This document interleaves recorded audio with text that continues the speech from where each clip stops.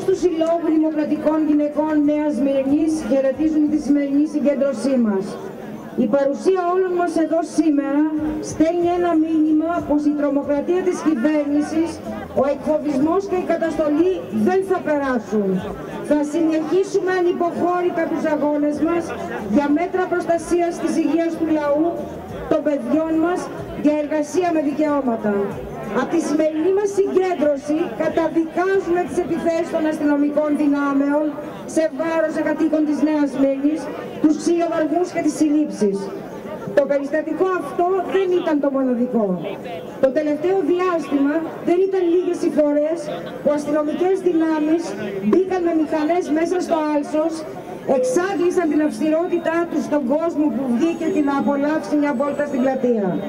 Η πλατεία και το, και το άλσος αποτελούν τους ελάχιστους ή ίσως μοναδικούς χώρους της πόλης μας, όπου μπορεί να χαλαρώσει μια οικογένεια, να κάνει ένα περίπατο, να παίξουν ελεύθερα τα παιδιά.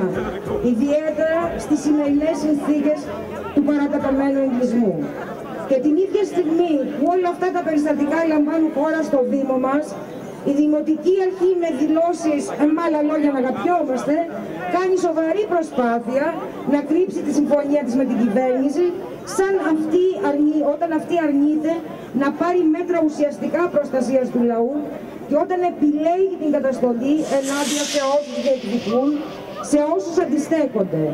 Πλέον διώκεται και ο οικογενειακός περίπατος. Η καταστολή, τα καθημερινά περιστατικά αστυνομικής βίας είναι συνειδητή κυβερνητική πολιτική και αποτέλεσμα όλης της προσπάθειας ενοχοποίησης του λαού για την εξέλιξη της πανδημίας. Ορθώνουμε το ανάστημά μας στην ένταση της καταστολής που συνοδεύει την αντιλαϊκή πολιτική. Γιατί κίνητρο της δράσης μας είναι οι ανάγκες και το δίκιο μας. Καταγγέλνουμε την πολιτική που από τη μία μειώνει τις δαπάνες για πρωτοβάθμια φροντίδα υγείας, αφήνοντας εμάς τις γυναίκες ξεκρέμαστες, χωρίς γιατρούς και εξετάσεις, χωρίς ιδιαίτερα προγενετικού ελέγχου και από την άλλη χαρίζονται εκατομμύρια ευρώ σε κλινικάρχες. Στεχόμαστε ενάντια στην πολιτική της κυβέρνησης, τωρινής και προηγούμενης, που έχουν λύσει τα χέρια της εργοδοσίας και καταπατούν καθημερινά δικαιώματα των εργαζομένων στους χώρους δουλειάς. Οι εργαζόμενοι σε συνθήκες πανδημίας, δεν, για τους εργαζόμενους σε συνθήκες πανδημίας δεν παίρνει η εργοδοσία κανένα μέτρο προστασίας, βάζοντας καθημερινά σε κίνδυνο τη ζωή τους. Είναι δεκάδες τα περιστατικά και στην πόλη μας, στα σούπερ μάρκετ, όπου εργαζόμενοι δουλεύουν σε συνθήκες συγχρονισμού, να εμφανίζονται κρούσματα και η εργοθυσία να τα, να τα καλύπτει. Δεν δικαιολογούν άδειες εργαζόμενους που ασθενούν. Μετακινούν εργαζόμενους από κατάστημα σε κατάστημα, προκειμένου να μην σταματήσει λεπτό η λειτουργία τους. Δεν σταματούν ούτε λεπτό να παραγεννίζουν με γέννητη, τζογάροντας επί της ουσίας τη ζωή χιλιάδων εμποροϊπαλλήλων.